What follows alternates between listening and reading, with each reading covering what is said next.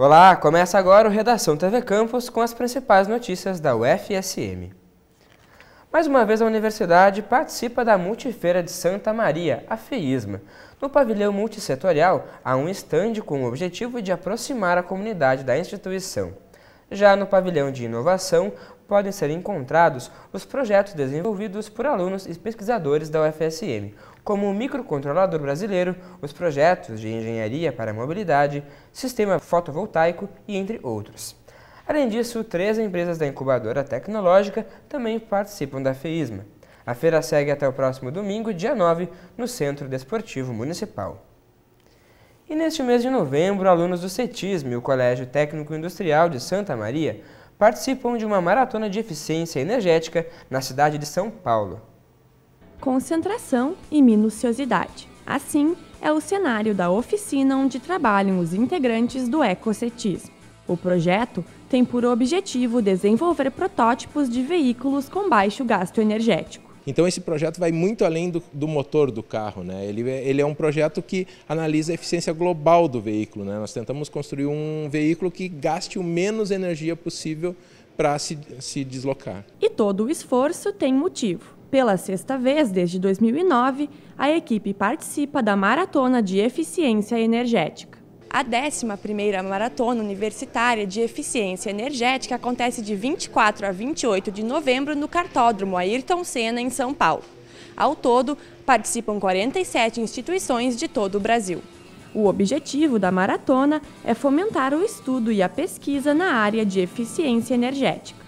O Ecocetisme compete com três protótipos nas categorias gasolina, etanol e elétrico, Todas as, as, universidades levam seus protótipos e ele precisa rodar 12 voltas do cartódromo. Ele recebe um tanque de combustível que é pesado previamente e então ele faz esse trajeto dá cerca de 9,5, 10 quilômetros e daí o tanque é retirado e pesado novamente. E com isso é aferido a quantidade de combustível, o consumo do carro. O projeto é uma disciplina optativa do curso superior de tecnologia em fabricação mecânica do CETISM. Rafael é estudante do curso e já está há dois anos no projeto. Que isso agrega muito conhecimento prático, teórico e acaba que no futuro, quando nós nos formarmos e tivermos que ingressar no mercado de trabalho, a gente já tem uma certa uh, compatibilidade com as tecnologias que a gente vai encontrar, né, por causa de tudo que a gente lida aqui no dia a dia, até com questão financeira, marketing, tudo isso aí a gente não pode escapar, né? então a gente lida com tudo isso aqui dentro. A equipe já tem um histórico de vitórias na competição. Os prêmios ganhos nas maratonas anteriores podem ser vistos na oficina do projeto. Dois veículos e motores disponíveis para estudo. Para a edição de 2014, a expectativa é grande. Os alunos embarcam para São Paulo no dia 23 de novembro. A competição acontece de 24 a 28 de novembro no cartódromo Ayrton Senna. Uma boa sorte à equipe. Nos dias 11 e 12 de novembro acontece a terceira mostra científica do Grupo de Pesquisa em Gestão de Recursos Hídricos do Centro de Tecnologia. O público-alvo são pesquisadores, professores, estudantes de engenharia e áreas afins. Durante o evento vão ser apresentados os projetos e atividades desenvolvidos pelo grupo. As inscrições são gratuitas e as vagas limitadas. O Núcleo de Inovação e Transferência de Tecnologia da UFSM promove o primeiro Salão de Empreendedorismo e Inovação. A repórter Daniela Sangali conversou com o coordenador de empreendedorismo da Agência de Inovação e Transferência Tecnológica, Silon Procati, e traz mais informações sobre o evento.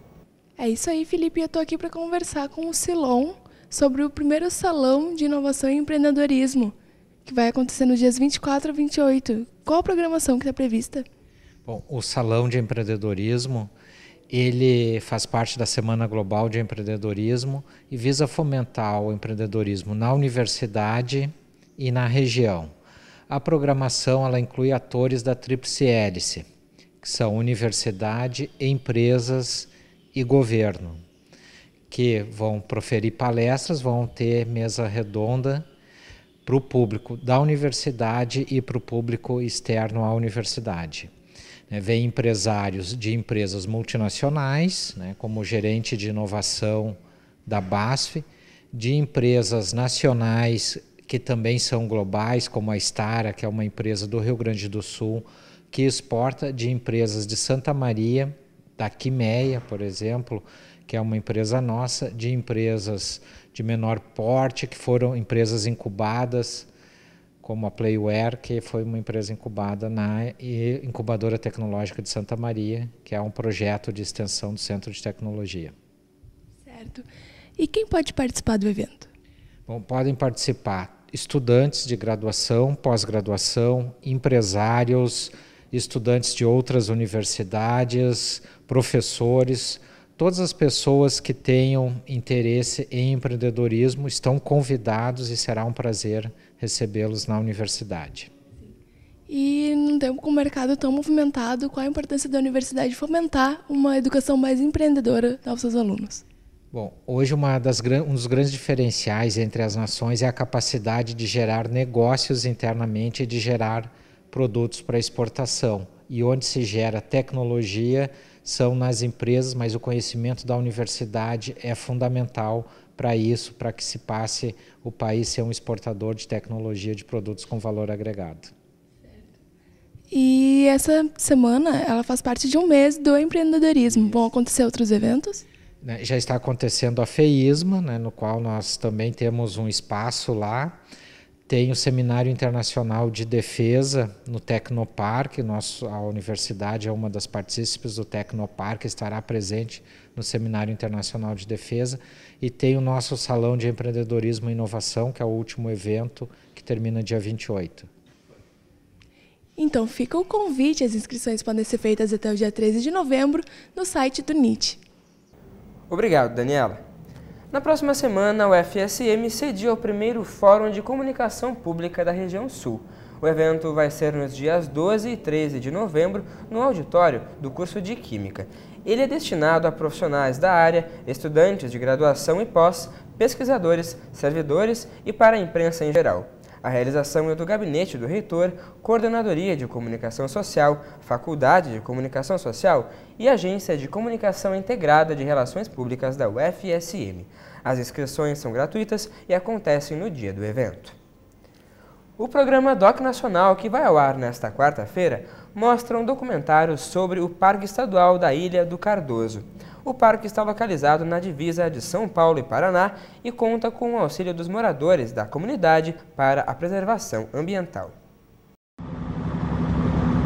Tudo que eu sei diz que a, a, a igreja é, passou a, a, a ilha para uma família Cardoso é, por influência política e tal, lá, não sei, 1600, 1700.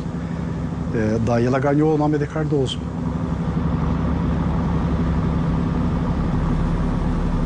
Então essa área aqui que está sofrendo muito a, a, a, erosão, né? Como vocês estão vendo aí, dia a dia ela está ela tá sendo derrubada e ali tem uma parte ali que está muito próximo da praia já.